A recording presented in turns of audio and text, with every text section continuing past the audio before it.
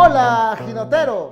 Mi nombre es Juan Carlos García Naranjo y en esta oportunidad aprenderemos acerca de la función que cumple el diferencial y para qué sirven los bloqueos.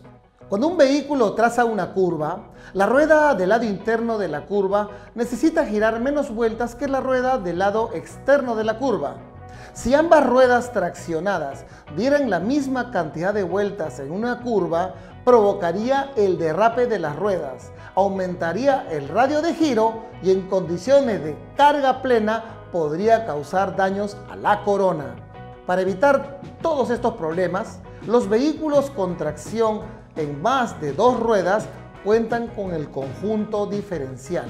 El conjunto diferencial, como su nombre lo dice, diferencia el número de vueltas que las ruedas traccionadas dan en las curvas, evitando el derrape, reduciendo el radio de giro y protegiendo la corona de sobrecargas.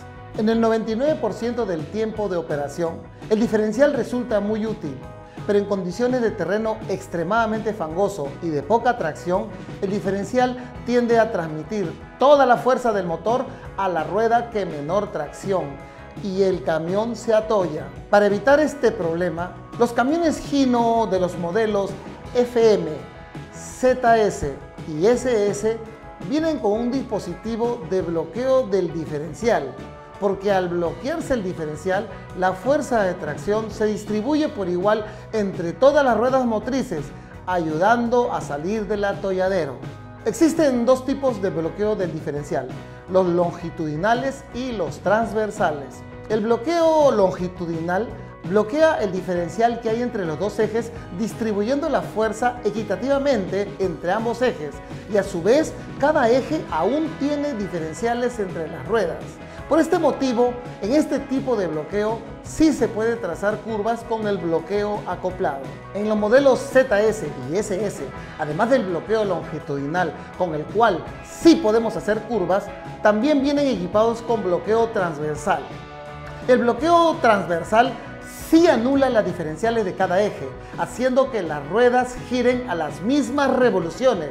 O sea, en caso de usar el bloqueo transversal, está prohibido hacer curvas.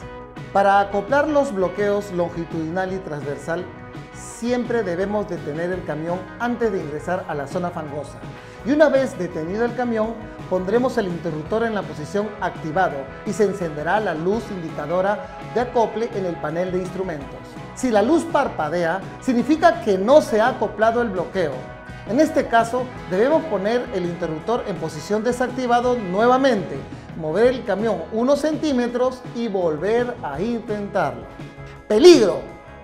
Si ya ingresamos a la zona fangosa y el camión se atolló, no debemos aplicar el bloqueo mientras las ruedas estén girando en el atollo, porque podremos romper el conjunto diferencial.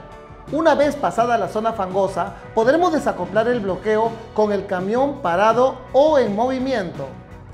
Para desacoplar el bloqueo en movimiento, primero soltamos el acelerador, pisamos el embrague y ponemos el interruptor en la posición desacoplado con el vehículo rodando a 10 kilómetros más o menos. Luego de estos pasos, la luz del panel se apagará. ¿Tienes alguna duda de cómo mejorar tu operación y el cuidado de tu gino? Pregunta con confianza y nosotros resolveremos todas tus dudas. Visítanos en todos nuestros concesionarios a nivel nacional y no olvides preguntar por nuestro programa de soporte total, que son inspección gratuita, mano de obra gratuita en los primeros mantenimientos, la nueva Gino App y el programa de capacitación EcoDrive para todos nuestros conductores ginoteros. Me despido, no sin antes recordarles que pueden dejar sus preguntas en la caja de comentarios. Estuvo con ustedes Juan Carlos García Naranjo y recordemos no relajar las medidas sanitarias aunque estemos vacunados.